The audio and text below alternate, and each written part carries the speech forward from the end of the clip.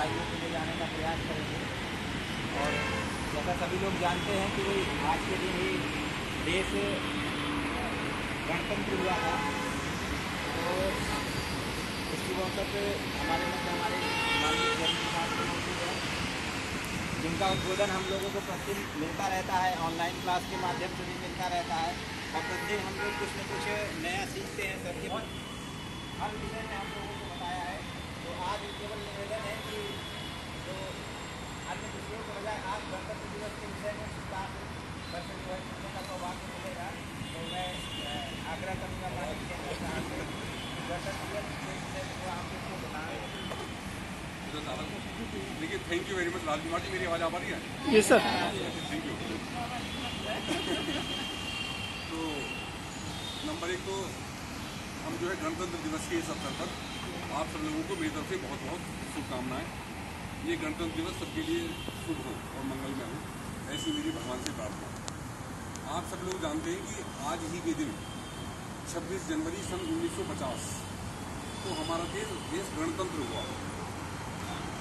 हमारा देश तो आज़ाद हो गया था पंद्रह अगस्त सन उन्नीस सौ सैंतालीस को।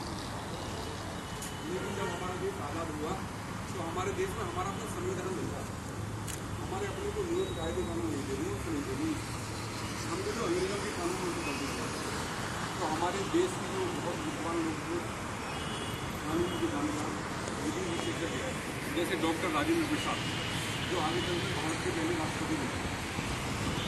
ऐसे डॉक्टर ऐसे डॉक्टर भीमराव अंबेडकर जी, जो कि आगे चलकर हमारे भारतवर्ष के, स्वतंत्र भारत के पहले कानून मंत्री बने, विधि कानून मंत्री।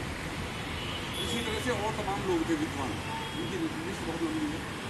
सबके नाम लेना बहुत संभव नहीं तो उन लोगों ने रात दिन काम किया और आपको जानकर ताजुब होगा आपको बताते हुए था दो साल ग्यारह महीने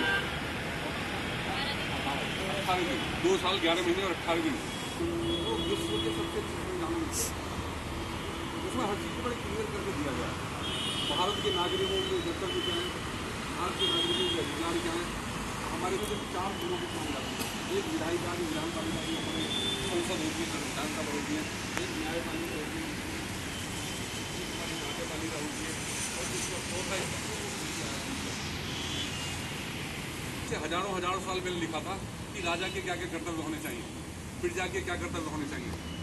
या चाणक्य ने अपनी चाणक्य नीति में लिखा, चाणक्य ने, विदुर जी ने पाँच हज़ार साल पहले विदुर जी ने लिखा